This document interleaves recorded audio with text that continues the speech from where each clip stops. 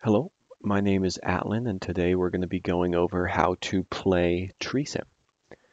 So first of all, you have to open the file with GoldSim Player, which you'll have to download from online. And once you do that, you can open up the file, and then you can click on this Start button. This is the first of many different slides you'll have to go through before you get to the gameplay, just telling you how to play the game, giving you some basic straightforward information, but for right now what you need to know is how to actually navigate through these slides and get the information you need. So here you just have two options. You can go back to the previous page or you can go next and you just click. This is the same way, just giving you some more information about how to play and you can click through the next. This is the start of the informational slides, giving you some background knowledge and basic information that can help you decide where to plant trees, the importance of trees, uh, why we chose the areas that we did, and just different information to help you make decisions later on. This shows the two locations we chose, first being the South Valley shown on the left, and the next being the International District on the right. Here's the a different version of the same map, but you can click on each area and it shows you the factors on why we chose that area, including tree canopy, plantable space, and percent of the population below poverty. And you can do the same for the international district. This provides some very basic information on the benefits of trees and how we'll water them using stormwater. This provides the basics about the stormwater system we'll be using, primarily centered around the North Diversion Channel, which drains a good portion of the acreage of Albuquerque. This gives more information on the urban heat island effect and how trees help cool down the ambient temperatures in urban areas.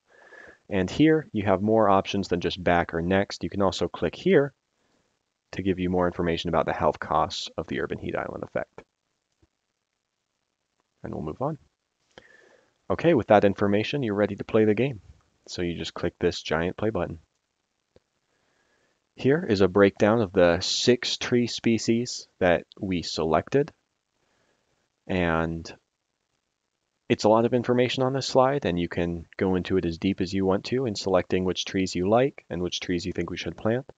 Uh, the most important information is probably in bold here, the medium water use, high water use, low water use, especially living in a, a desert area. This is going to be important for these trees.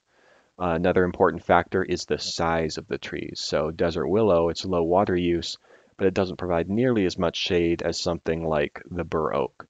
So the bur oak will have a much greater impact on things like public health and the urban heat island effect.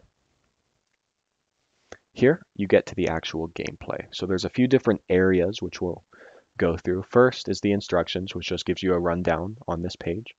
Here's a little map reminding you of where you're actually planting trees in the South Valley and the International District. Right here is the first selection and choice that you have, and that is climate change severity. So you have three scenarios, low, medium, and high, which impact things like water supply, rainfall, uh, temperatures, how much water the trees need, as well as the price of water. The price of water you can actually see right here, and you can see it change and go up as climate change gets worse and worse. So these other boxes, you don't make any actual selection, but when you run the model, you'll see different values appear. This is the total cost of the total initial cost, so that includes things like actually purchasing the saplings. It includes the, the maintenance cost for planting the saplings.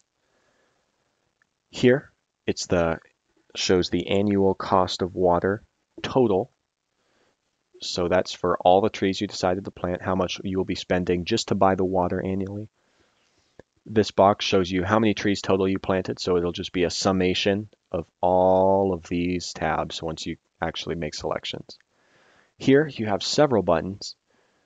First is the reset values, which we'll get back to. Here's a time settings button, which is a more advanced selection where you can change the duration of the, of the model, it's by default set to 100 years. This button will take you back to the previous page in case you want to look back and review any information about one of the trees. The run model is what you do after you make all your selections. You'll click that and then the then GoldSim will actually calculate your results. And then you see your results by clicking on this where it'll take you to your next page. This box is just some basic information about troubleshooting, which we'll go over later. And then these six boxes are your primary choices on this tab. So first, you can, you can move any slider anywhere you want to select how many of each tree that you want to plant. Now, there are some caveats to this. Most importantly is that you are limited by the space available for planting in these two locations. Now, this will probably bring you with your first troubleshooting issue, and that is if you exceed that area, as you see here, your sliders get locked out, so you can't adjust them anymore. Now, if these results are what you want, that's fine. You can run the model and go to the next page. But if you want to change something, you're going to have to click Reset Values. And that zeroes out your values, and then you can readjust to what you want. Now, let's say you made this, which is a diverse selection of trees, and then you're happy with this. So you click Run Model and you click OK. And now before we go to the results, we'll go over another troubleshooting issue. Now, if you want to go back and you want to change your sliders, you'll it just gives you an error and you can't actually move your sliders or make any other changes. So what you have to do is you have to go up here, click Reset Model, and then it basically deletes your results and you can make changes again. Now a hotkey for this is clicking F4 instead of going up and clicking this button. Now we'll run our model again and we'll go on to our results. So this shows you basically how well you did in the game. So with the selections that I made, it shows here how long it takes for me to make my money back. So six years and one month, which is a pretty good return on investment. And what selections you make will change how fast you start making money. And this graph shows a visualization of that. And you can see six years is about this uptick in the graph. Now the blue line is an optimized graph and the red line is your graph. So red is the profit for the selections that you made. Blue is the best possible profit based on a mathematically optimized scenario. So a good objective for you could be to close this gap as much as possible and make as much profit. Now this graph, the total water use, is kind of a flipped version of that. Red is still your graph and how much water you use with your selections every year. Blue is an optimized version. So a good goal would be to get the red line as close to the blue line as you can by decreasing your water use. Now it should be noted that this optimization and this optimization are based on two different scenarios. So you will have to make a decision at some point on whether you want to prioritize profit or you want to prioritize water use. On the right side, you can click on these buttons and you'll just get options for more individual graphs. Tree benefits gives you an overall graph breaking down where your profit's coming from.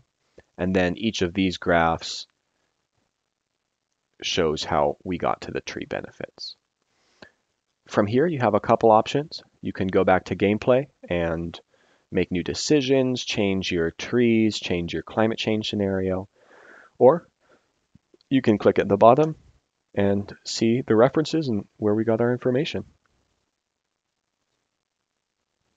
And that's how you play Tree TreeSim.